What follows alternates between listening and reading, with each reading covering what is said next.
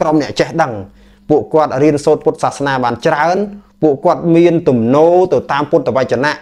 ចង់ធ្វើដំណើរទៅកាន់ព្រះនិព្វានឆាប់ឆាប់ក៏ប៉ុន្តែពួកគាត់ទៅជាឃើញទៅនឹងអ្នកដែលកាន់ទំនៀមទម្លាប់ប្រពៃណីទៅរហូតអញ្ចឹងការទៅការទាស់បែបហ្នឹងវាមិនមែនជាហេតុផលនាំឲ្យទៅកាន់ព្រះនិព្វានហ្នឹងជាកំហុសរបស់ពួកគាត់ទេខ្ញុំឃើញគ្រូបង្រៀនអភិធម្មបង្រៀនធម៌អីពិតប្រកបហ្នឹងគឺអត់មានមកទៅទេលោកគ្រូ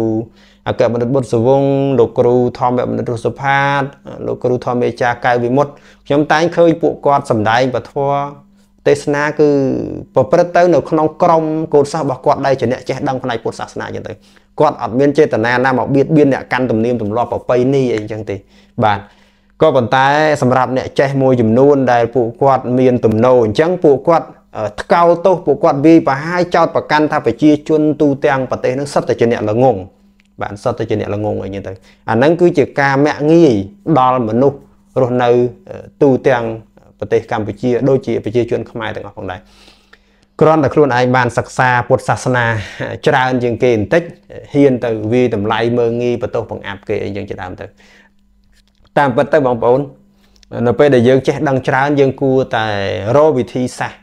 ណែនាំទៅគេវិញទៅជាការល្អប្រពៃមិនមែនទៅថ្កោលទោសទៅរិះគន់ ទៅលើកទោសដោយប្រការៈផ្សេងផ្សេងទេបាទបាទសូមគោរពជំរាបសួរបងប្អូនខ្មែរទាំងអស់គ្នាសូមថ្វាយគុំកណាគុណចាស់ជាប្រសងគ្រប់ព្រះអង្គផងដែរទៀតអរគុណលោកចាស់គ្រប់ព្រះអង្គអរគុណបងប្អូនគ្រប់គ្នាដែលតែងតែនិយមគ្រប់គ្រងទស្សនាវីដេអូរបស់ខ្ញុំណាខ្ញុំបាទបាទអរគុណជាអណែកបាទអឺថ្ងៃនេះខ្ញុំលើកប្រធានបទមួយមកជាការសិក្សាពិភាក្សាជាមួយបងប្អូនទាំងអស់គ្នាបាទខ្ញុំជឿថាបងប្អូនឃើញរូប ពីរសន្លឹកនេះហោះហើរពេញបណ្ដាញសង្គមបងប្អូននៅខ្មែរក៏ឃើញបងប្អូននៅទីណាក៏ឃើញរូបនេះប្រហែលថ្ងៃមុនមកហើយមានវីដេអូឃ្លីបមានអីក៏មានអ្នកយកទៅចែកចាយឲ្យសរសេរដោយប្រការៈផ្សេងផ្សេងអញ្ចឹងទៅទឹកមុនមិនទឹកមុនឬក៏ថារិះគន់ព្រះអង្គដោយប្រការៈផ្សេងផ្សេងទៅហើយមួយថ្ងៃនេះគឺចេញរូបនេះបាទព្រះអង្គផ្លុំឲ្យក្មេងប្រុសម្នាក់ ដែលតាមខ្ញុំមើលទៅនេះប្រហែលជាកាត់បោសនៅក្នុងផ្លូវខ្ញុំគូរង្វងដាក់អញ្ចឹងទៅបាទអឺគឺមានវីដេអូមានអីឃើញដូចជាចៅរបស់លោកជំទាវកុយដានីបាទខ្ញុំឃើញនៅលើ Facebook របស់គាត់ក៏មានគាត់អរប្រគុណព្រះអង្គអីចឹងទៅថាព្រះអង្គ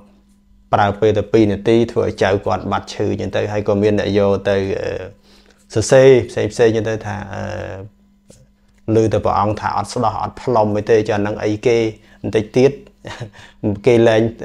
នាំក្មេងទៅពេទ្យទៅអីហើយណាយណៃយើងទៅរឿងច្រើនបងប្អូនរឿងច្រើនអឺអញ្ចឹងយើងចូលមកនិយាយពីរឿងនឹងទាំងអស់គ្នាទី1រឿងនេះគឺព្រះអង្គនៅក្នុងបឹងមួយនៅខាងខេត្តណាទេដូចជាខេត្តកំពង់ស្ពឺឬខេត្តណាខ្ញុំចាំច្បាស់ហើយ ក៏មានមនុស្សនាំគ្នាទៅដងទឹកបឹងខ្ញុំឃើញមានការសម្ភាសអ្នកដងទឹកបឹង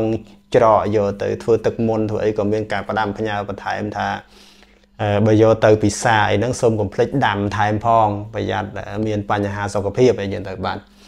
អូខេអញ្ចឹងចំពោះរឿងនេះមួយព្រះអង្គយកឈើច្រត់ព្រះអង្គទៅលោកក្នុងទឹកហ្នឹងតែប៉ុន្តែក្នុងរឿងទាំងពីរហ្នឹងខ្ញុំ ជាគំនិតរបស់ខ្ញុំខ្ញុំចង់ឲ្យបងប្អូនដែលឃើញរូបទាំងអស់នេះហើយបើសិនបើ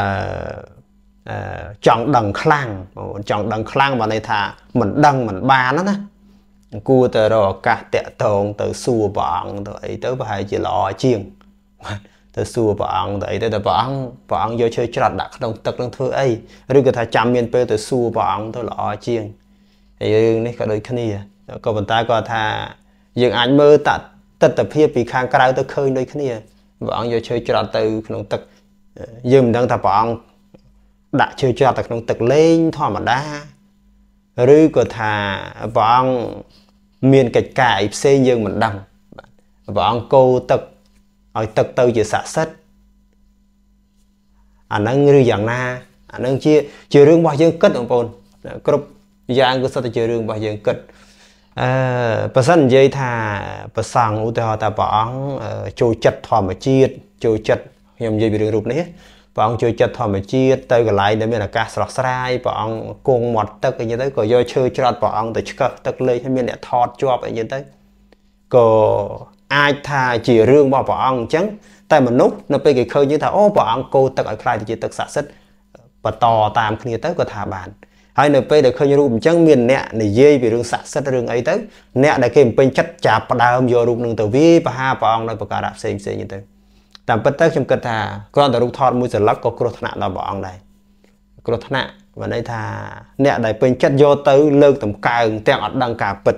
ហើយអ្នកដែលអត់ពេញចិត្តយកទៅរិះគន់រូបភាពដែលចែករំលែកហើយនឹងអ្នកដែលដែលពេញចិត្តដែលលើតម្កើងយកទៅផ្សព្វផ្សាយហ្នឹង ជាការបើកឱកាសឲ្យអ្នកដែលអត់ពេញចិត្តព្រះអង្គយកទៅរិះគន់បានថាផលចំណេញបានទៅអ្នករិះគន់ព្រះអង្គវាមិនដឹងថាគេរិះគន់ទៅបានអីទៅខ្លួនគេទេក៏ប៉ុន្តែ គេចំណេញបានយកទៅវាយប្រហារព្រះអង្គបន្ថែមទៀតទៅដោយរូបនេះក៏ដូចគ្នា ជាវីដេអូខ្លីមួយ ដែលម្ចាស់ page ចៅគាត់មុនព្រះអង្គទៅផ្ទះទៅព្រះអង្គក៏ផ្លុំឲ្យយ៉ាងទៅ ជាបាត់ឈឺបាត់អីរូបរូបភាពនេះមើលទៅឃើញកើតបោសបាទកើតបោសតែជាអាចថាมันធ្លាយឬក៏យូរហើយយ៉ាងម៉េចអឺនេះតកតងរឿងរូបថតខាងនេះគឺតកតងទៅនឹងរឿងការស្ដោះផ្លុំបាទជាមុនវិជាការព្យាបាលជំងឺបាទមុនវិជាការព្យាបាលជំងឺហើយចុះបើនិយាយពីរឿងព្រះអង្គសួរថាព្រះអង្គធ្វើអញ្ចឹងខុសទេបើនិយាយទៅតាមវិន័យឲ្យត្រឹមត្រូវសុក្រិតមែនតើគឺប្រសង់ធ្វើអញ្ចឹងអត់បានទេ ប្រសង់ដែលចេះមុនវិជាផ្សេងផ្សេងហ្នឹងព្រះអង្គអាចព្យាបាលបានត្រឹមតែភិក្ខុសាមណេរផងគ្នាទេបើសិនបើលោកនៅក្នុងវត្តជាមួយគ្នាឬក៏ថាជាជាអ្នកបួសដូចគ្នាព្រះអង្គព្យាបាលបានអត់មានទោសទេក៏ប៉ុន្តែសម្រាប់ការព្យាបាលកុហកអាហ្នឹងគឺកាត់ទៅតាមវិន័យគឺព្រះអង្គមានទោសបាទត្រូវអាបត្តិហើយអាបត្តិតូចទេមិនអាបត្តិធំអីទេបាទមិនជាទោសធំអីទេហើយតែគាត់ថានៅពេលដែលឃើញព្រះអង្គអញ្ចឹងគឺឱកាសនៃការរិះគន់ របស់មនុស្សនឹងអ្នកដែលគេអត់ពេញចិត្តនឹងគឺមានកាន់តែច្រើនក៏ប៉ុន្តែសួរថារិះគន់ព្រះអង្គមួយអង្គមានបានតែចាប់អារម្មណ៍ដល់ប្រសង់អង្គផ្សេងទៀតដែលនៅទូទាំងប្រទេសលោកស្ដោះផ្លុំអីជារឿងធម្មតាលោកស្រោចទឹកលោកលើករាសីកាត់គ្រោះអីជារឿងធម្មតា មានបានតែចាប់អារម្មណ៍ទេអឺចំពោះខ្ញុំចំពោះរឿងទាំងអស់នេះខ្ញុំស្គាល់លោកគ្រូធំធំ លោកមានបច្ចុប្បន្នអាយុច្រើនហើយជាប្រអប់បជា នៅតាមខេត្តនៅតាមស្រុកអីទៀតផងហើយលោកមានប្រកដីគឺស្រោចទឹកបាទលើករាសីកាត់គ្រោះព្យាបាលជំងឺទៅតាមរបៀបនៃមុនវិជាការរបស់លោកទៅហើយក៏ព្យាបាលជាខ្លះអ្នកខ្លះក៏អត់ជាទៅមិនមែនជាទាំងអស់ទេខ្មែរយើងមានជំនឿមានពាក្យមួយថាអាគមផ្សំអាយុអាគមផ្សំអាយុគឺកាលណាបើព្យាបាលហ្នឹងអ្នកខ្លះគាត់វាវាពិបាកថាបងប្អូន អ្នកខ្លះគាត់រត់រោពេទ្យគ្រប់ច្រកលហអស់លុយរាប់លានរាប់សែនទៅហើយបាទរាប់ម៉ឺនរាប់សែនរាប់លានទៅហើយវាអត់ជាដល់ពេលចុងក្រោយទៅរកព្រះអង្គទៅវាជាអាហ្នឹងក៏យើងអត់ដឹងថាម៉េចដែរយើងអត់ដឹងថាម៉េចដែរវាជារឿងជំនឿរបស់គេ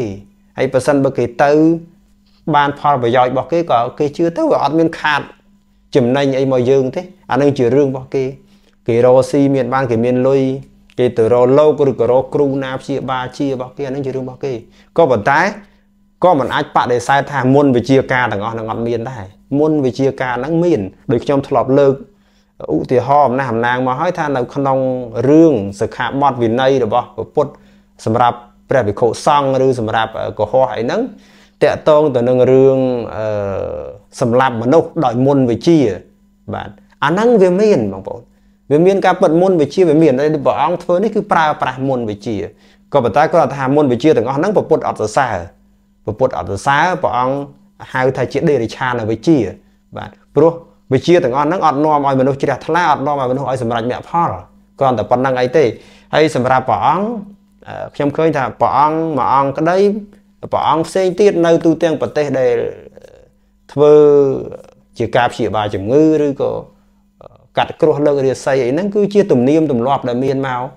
ហើយសួរថាខុសឬត្រូវបើសិនបើនិយាយឲ្យសុក្រិតតាមវិន័យរបស់ព្រះសង្ឃគឺខុសក៏ប៉ុន្តែសួរថាលោកធ្វើហ្នឹងបានប្រយោជន៍ឬមិនបានបានប្រយោជន៍ជួយព្យាបាលគេបើសិនបើត្រូវជាទៅក៏អឺតាមពិតទៅវាស៊ីសងទៅនឹងរឿងទឹកបតីរបស់ព្រះអង្គស៊ីបសងទៅនឹងរឿងទឹកបតីរបស់ព្រះអង្គទេបងប្អូនអឺបើសិនបើព្រះអង្គមានបតីមេត្តាអនុគ្រោះដល់សពសត្វ ព្រះអង្គធ្វើទៅអាហ្នឹងជារឿងបន់របស់ព្រះអង្គមួយចំណែករឿងមេត្តាអនុគ្រោះយ៉ាងទៅតែរឿងទោសក៏ព្រះអង្គទទួលទោសយ៉ាងទៅព្រះអង្គទៅសំដែងអាបត្តិទៅអីទៅរួចចាក់ទោសនឹងមកវិញយ៉ាងទៅតែក៏ប៉ុន្តែគាត់ថាកុំតែព្រះអង្គធ្វើរឿយរឿយដដែលដដែលតែរឿងហ្នឹងគឺវាជាប់តាក់ទងទៅនឹងទំនៀមទម្លាប់ប្រពៃណីខ្មែរតាំងពីណាពីណីមកហើយហើយយើងអត់អាចទៅបដិសេធវាចោលបានបាទមនុស្ស ប្រមាណលានអ្នកនៅប្រទេសកម្ពុជា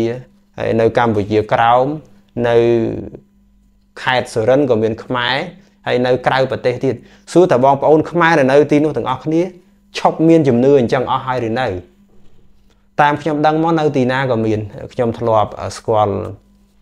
លោកគ្រូមួយអង្គជាប្រសង់នៅខេត្តបាត់ដំបងហ្នឹងលោកមុនទៅប្រទេសក្រៅទៅអូស្ត្រាលីទៅអីចឹងទៅមកវិញក៏លោកអង្គុយនិយាយលេងមួយលោកទៅលោក ប្រាប់ថានៅប្រទេសគេហ្នឹងបើសិនបើយើងទៅគ្រាន់តែចេះទេសនាអីសាមញ្ញសាមញ្ញធម្មតាជារឿងធម្មតាទៅហើយនៅស្រុកគេពួកគេចូលចិត្តស្ដាប់ចូលចិត្តរៀនសូត្រក៏ប៉ុន្តែនៅពេលដែលលោកចេះទុះទាយចេះកាត់គ្រោះលើករាសីអីក៏គេមករតាមផ្លូវហ្នឹងបើន័យថាជំនឿវាមាននៅក្នុងហ្នឹងអញ្ចឹងលោកថាបើលោកទៅនោះបើលោកប្រើអវិជ្ជាទាំងអស់ហ្នឹងរកបច្ច័យបានអីចឹងទៅអាហ្នឹង ជារឿងបងប្អូនពួកក្នុងសង្គមបច្ចុប្បន្នខ្ញុំនិយាយរឿងប្រសង់តិចទៅបងប្អូនអឺរឿងប្រសង់ប៉ះសិនបើរស់នៅតាមបែបសាមញ្ញធម្មតាជាពិសេសគឺប្រសង់អ្នករៀនសូត្របងប្អូនខ្ញុំឃើញថានៅតាមទីក្រុងនៅតាមអីទៅប្រសង់អ្នករៀនសូត្រអត់សូវសម្បូរបច្ច័យរៀនទេដោយសារតែពុទ្ធបរិស័ទគាត់អត់ដឹងពីប្រសង់អត់ដឹងថាប្រសង់ខ្វះខាតយ៉ាងម៉េច បច្ច័យជួយជិះម៉ូតូទៅរៀនបងសាលាអីហ្នឹងគឺអត់ពិបាករកតែម្ដងបាទពិបាករកតែម្ដងហើយសម្រាប់អឺព្រះអង្គដែលមានគេឈ្មោះមិនសូវជាពិបាកទេហើយបើក្រៅពីហ្នឹងតើតព្រះអង្គហ្នឹងចេះកាត់គ្រោះលើករាសីអីចឹងទៅគេគេរោបន្ថែមទៀតទៅអឺយើងដឹង សម្រាប់ប្រសង់អ្នករៀនលោកប្រកាសជាដឹងថាខ្ទាស់ខុសទៅនឹងវិន័យក៏ប៉ុន្តែ ស្ថានភាពដែលព្រះអង្គខ្ញុំនិយាយលក្ខណៈប្រសង់ទូទៅ ដែលព្រះអង្គត្រូវការបច្ច័យ4មកផ្គត់ផ្គង់ការសិក្សារៀនសូត្ររបស់ព្រះអង្គបើព្រះអង្គមិនធ្វើក៏ព្រះអង្គពិបាកក្នុងការរស់នៅដែរនឹងមានមានមានប្រសងខ្លះលោកធ្វើយ៉ាងទៅហើយដល់ពេលលោកធ្វើយូរយូរទៅលោកកាន់តែល្បីល្បាញទៅមានបរិស័ទបរោច្រើនអីក៏នឹងក៏ជារឿងតាមហ្នឹងទៅក៏ប៉ុន្តែគាត់ថារឿងជំនឿដែលឃើញនៅលើរូបព្រះអង្គហ្នឹងគឺខ្ញុំ បើនិយាយរឿងត្រឹមត្រូវតាមធម៌តាមវិន័យខ្ញុំថាព្រះអង្គធ្វើហ្នឹងគឺខុសវិន័យខ្ញុំហ៊ាននិយាយអញ្ចឹងព្រោះក្នុងវិន័យមានក៏ប៉ុន្តែគាត់ថាអ្វីដែលចង់ច្បាស់លាស់អំពីរឿងហ្នឹងទៀតបងប្អូនគួរតែឆ្លៀតពេលទុកសំណួរនឹងទៅសួរព្រះអង្គវិញថាតើព្រះអង្គធ្វើអីឲ្យប្រកាសហើយព្រះអង្គមានចេតនាអីបាទហើយប៉ះសិនបើបងប្អូនគ្រាន់តែឃើញហើយលើកទោសថ្កោលទោសតាមតែគ្នាអា នឹងវាបាបមកទៅខ្លួនឯងបាទបងប្អូនបានតែបាបមកខ្លួនឯងហើយក៏ប៉ុន្តែដូចខ្ញុំលើកនិយាយដដែលដដែលអញ្ចឹងថាអឺរឿងរបស់ព្រះអង្គអ្នកដែលចាំវាយបហាចាំលើកទោសរបស់ព្រះអង្គច្រើនមែនទែនហើយគេបន់ឲ្យតែឃើញរូបភាពទាំងអស់ហ្នឹងគេយកមកវាយបហាបន្ថែមទេក៏ប៉ុន្តែទោះបីយកមកវាយបហាឬលើកតម្កើងក៏កតនាមរបស់ព្រះអង្គកាន់តែមានបាទអឺអាហ្នឹងគឺអ្នកវាយបហាក៏ធ្វើឲ្យគេកាន់តែស្គាល់ព្រះអង្គ អ្នកលើកតម្កើងក៏ធ្វើឲ្យគេកាន់តែស្គាល់ព្រះអង្គព្រះអង្គคล้ายទៅជាបុគ្គលសាធារណៈមួយរូបដែលមានកតនាមមានគេឈ្មោះអឺល្បីល្បាញក្នុងសង្គមខ្មែរទៅហើយបច្ចុប្បន្នមិនមែននៅក្នុងប្រទេសក្រៅប្រទេសក៏គេចង់ជួបចង់ស្គាល់ព្រះអង្គដែរហើយក៏គេដឹងថាព្រះអង្គជាប្រសង់មួយអង្គដែលសម្ដែងបង្ហាញតកតងទៅនឹងទំនៀមទម្លាប់ប្រពៃណីច្រើនបាទព្រះអង្គបង្ហាញ តកតងទៅនឹងទៅនឹងទំនៀមទម្លាប់ប្រពៃណីច្រើនហើយក៏ព្រះអង្គមិនមែនអត់សម្ដែងធម៌ដែរបាទគ្រាន់តែថាព្រះអង្គជាប្រសង់មួយអង្គដែលដើរកដាលហើយមានចេតនាចង់បង្រួបបង្រួមអឺអ្នកកាន់លទ្ធិបុរាណហើយនិងអ្នកកាន់ពុទ្ធសាសនាបែបចំណេះដឹងស៊ីជម្រៅនឹងឲ្យចូលគ្នាអត់ចង់ឲ្យបែកខ្ញែកគ្នា ខ្ញុំឃើញទំនៀមហ្នឹងគឺដូចខ្ញុំផលិតវីដេអូមុនជាមួយបងវិចិត្រតកតងរឿងប្រាសាទនិពន្ធអីហ្នឹងគឺបរិជាព្រះអង្គមានអធិពលខ្លាំងព្រះអង្គសង្យោគជំនឿរបស់ខ្មែរទាំងលទ្ធិព្រាហ្មណ៍ហើយនិងលទ្ធិពុទ្ធនឹងឲ្យចូលគ្នា តែនោះព្រះមហាក្សត្រព្រះអង្គមានអធិពលខ្លាំងព្រះអង្គអាចធ្វើបានតែឥឡូវមានប្រសង់ព្រះអង្គមិនជាមានអធិពលប្រមាណទេអញ្ចឹង ព្រះអង្គអាចធ្វើបាននៅក្នុងជួរអ្នកដែលជឿជាក់របស់ព្រះអង្គតែអ្នកដែលគេអត់ពេញចិត្តព្រះអង្គនៅតែលើកទោសបែបនេះបែបនោះអញ្ចឹងក៏ប៉ុន្តែនិយាយពីរឿងព្រះអង្គសម្រាប់ព្រះអង្គវិញខ្ញុំនៅតែសរសើរព្រះអង្គទោះបីព្រះអង្គដឹងថាធ្វើវាមិនបាន100%ក៏ព្រះអង្គនៅតែធ្វើចេតនារបស់ព្រះអង្គគឺដើម្បីឲ្យខ្មែររួបរวมគ្នាខ្ញុំជឿជាក់ថាបងប្អូនដែលគ្រប់គ្រងព្រះអង្គ តែងតែតាមស្ដាប់នៅធម្មកថារបស់ព្រះអង្គទោះបីជាមានជំនឿបុរាណជំនឿប្រពៃណីនិយមដោយដែលព្រះអង្គធ្លាប់លើកមកត្រូវចិត្តក៏ដោយក៏ប៉ុន្តែខ្ញុំជឿថានៅពេលដែលព្រះអង្គសម្ដែងពធទេសនាលើកអំពីធម៌លើកអំពីអីមកក៏បងប្អូនស្ដាប់ដូចគ្នាដែរអញ្ចឹងខ្ញុំទៅជាឃើញថាវត្តមានរបស់ព្រះអង្គចំណេញច្រើនសម្រាប់សង្គមខ្មែររឿងខុសឆ្គងដោយបងប្អូនឃើញអញ្ចឹងអានឹងជារឿងរបស់លោក បាទជារឿងរបស់លោកទោសរបស់លោកលោកទទួលខ្លួនលោកឯងអត់មានបាបអីមកដល់យើងទេដែលព្រះអង្គសំដែងអាបត្តិទៅរួចទៅហើយព្រះអង្គក៏មិនមែន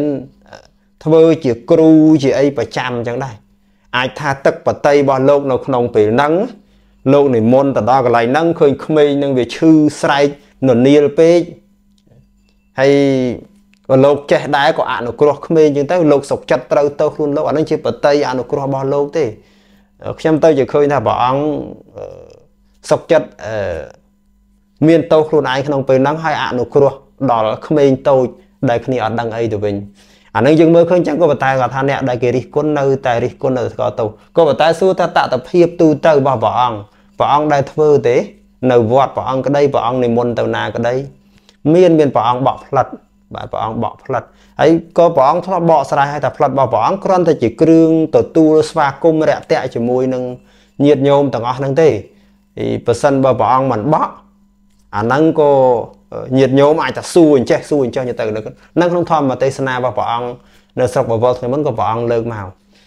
អញ្ចឹងចំពោះរឿងទាំងអស់នេះបងប្អូនខ្ញុំជឿថាមានអ្នកមើលឃើញទស្សនវិជ្ជាផ្សេងផ្សេងអ្នកឃើញហើយជ្រះថ្លាក៏ ត្រេកអរនឹងអំពើរបស់ព្រះអង្គនឹងទៅអ្នកដែលឃើញមិនជ្រះថ្លាហើយក៏រិះគន់ដោយប្រការៈផ្សេងផ្សេងជាងទៅព្រោះយើងអត់អាចហាមឃាត់គេបានអត់អាចហាមឃាត់គេបានក៏ប៉ុន្តែដូចខ្ញុំលើកដដែលដដែលចឹងថាធម្មតាប្រសង់ដែលចេះមុនវិជាឲ្យព្រះអង្គអឺមើលជំងឺរបស់មនុស្សមិនមែនមានតែមួយអង្គទេមានទូទាំងប្រទេសហើយព្រះអង្គក៏មិនមែននៅមើលប្រចាំដែរទឹកតែឃើញរូបមួយហ្នឹងបើសិនបើថ្ងៃក្រោយទៅឃើញទៀតអាហ្នឹងក៏ ຕົករូបនឹងឲ្យចាំទៅសួរព្រះអង្គផ្ទាល់ថាតើព្រះអង្គដោះស្រាយយ៉ាងណានឹងជារឿងល្អជាងសម្រាប់យើងអ្នកដែលជ្រះថ្លាជាមួយព្រះអង្គគ្រប់គ្រងព្រះអង្គយើងទៅបានអញ្ចឹងខ្ញុំមានប៉ុណ្ណឹងបងប្អូនទាំងអស់គ្នាមកចែករំលែកតទៅក្នុងរូបទាំងអស់នេះតើសង្ឃឹមថាបងប្អូនពេលឃើញហើយកុំតាន់អាចជឿតាមគេទាំងស្រុងមើលហើយពិចារណាសិនហើយសាកសួរបើសិនបើមានឱកាសសាកសួរឬក៏សួរលោកអ្នកចេះដឹងណាផ្សេង ក្រៅពីព្រះអង្គក៏ប៉ុន្តែ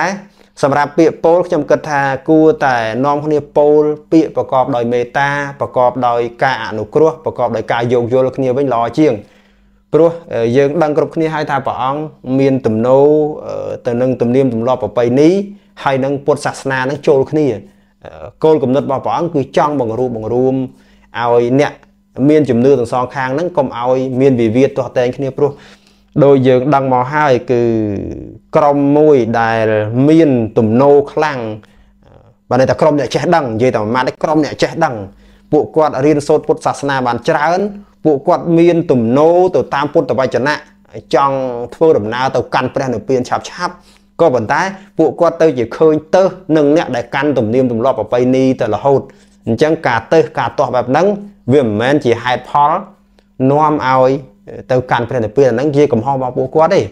ខ្ញុំឃើញគ្រូបង្រៀនអភិធម្មបង្រៀនធម៌អីពិតប្រកបហ្នឹងគឺអត់មានមកទៅអញ្ចឹងទេលោកគ្រូអគ្គបណ្ឌិតបុត្រសវងលោកគ្រូធម្មបណ្ឌិតរុសុផាតលោកគ្រូធម្មេចាកៅវិមុតខ្ញុំតែងឃើញពួកគាត់សម្ដែងពធទេសនាគឺប្រព្រឹត្តទៅនៅក្នុងក្រមកូនសិស្សរបស់គាត់ដែលជាអ្នកចេះដឹងផ្នែកពុទ្ធសាសនាអញ្ចឹងទៅគាត់អត់មានចេតនាណាមកបៀតបៀនអ្នកកាន់ទំនៀមទម្លាប់ប្រពៃណីអីអញ្ចឹងទេបាទ ក៏ប៉ុន្តែសម្រាប់អ្នកចេះមួយចំនួនដែលពួកគាត់មានទំនោរអញ្ចឹងពួកគាត់ថ្កោលទោសពួកគាត់វាយប្រហាយចោតប្រកាន់ថាប្រជាជនទូទាំងប្រទេសនឹងសិតតែជាអ្នកល្ងង